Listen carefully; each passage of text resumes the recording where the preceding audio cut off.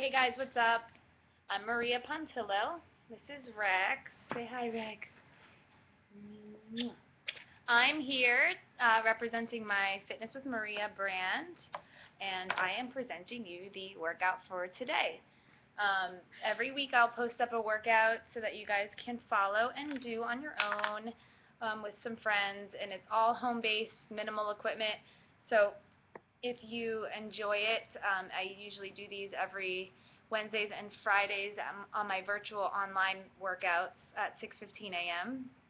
So if you're interested in signing up for that, shoot me an email. Um, but yeah, so let's go over today's workout. We did the 90, 60, 30 uh, workout. So basically what we're going to do is 90 seconds for one round, 60 seconds for two rounds, and then 30 seconds for three. So here's five exercises in your 90 second combo. First is a squat to row. So what you're going to want to do is find something to wrap a band around. And once you do that, you're going to hit a squat to row. And this is 90 seconds straight. So you're here.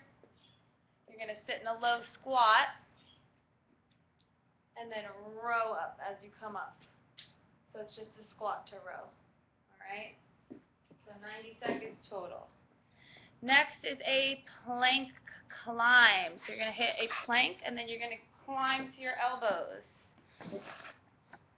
All right, so you're going to go in your plank position, nice and level. Drop to your elbows and then come back up. All right.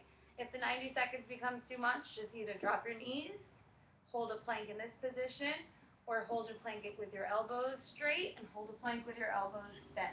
Either way. I know, I know. Okay. Next we have dips of the chair, a bench, anything that you could find in your house. Basically keep your feet on the floor and then down and up and bend. Okay. Um, 90 seconds straight with those. Make sure if you're using a chair, it doesn't have wheels on it. um, okay, next is high knees with a press. You're going to take your weights and you're going to hold your hands in a neutral grip to be safest for the shoulder. And you're going to press up and lift as you go up with your knees. Okay.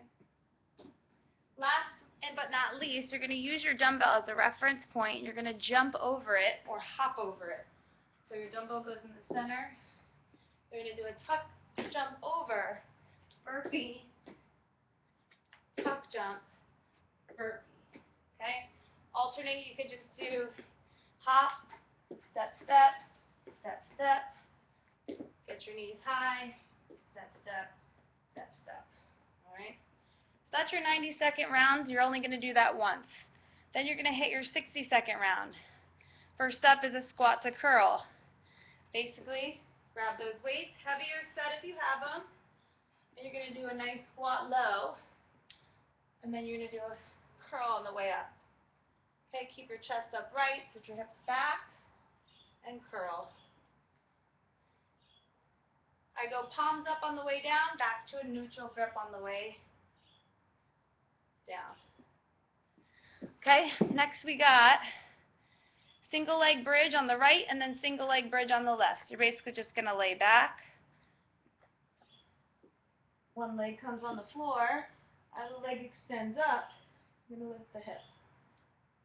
60 seconds right leg, 60 seconds left leg. Last we have um, reverse lunge to a lateral raise. Reverse lunge. Step back lunge. Come up for a lateral raise. So when you're doing that, you're not arching your back. Key to keep that pelvis engaged, abs tucked in, lift, lateral, lift, lateral. Alternate right and left. Do it for 60 seconds. And then last, we're going to do star jacks, which is just basically a regular jumping jack, but jumping off the floor. When you're landing, you want to make sure you're landing with soft knees and not locking your legs out. All right, so that series you're going to do for two rounds. Then your last one is all 30 seconds. First up is mountain climbers. Get in a plank position and knees come in. Okay, add intensity by making it more of a run. Then you have Russian twist, with or without a weight. Seated on the ground, grab your weight. You want to be in a nine, about a 45 degree angle, and you're going to twist.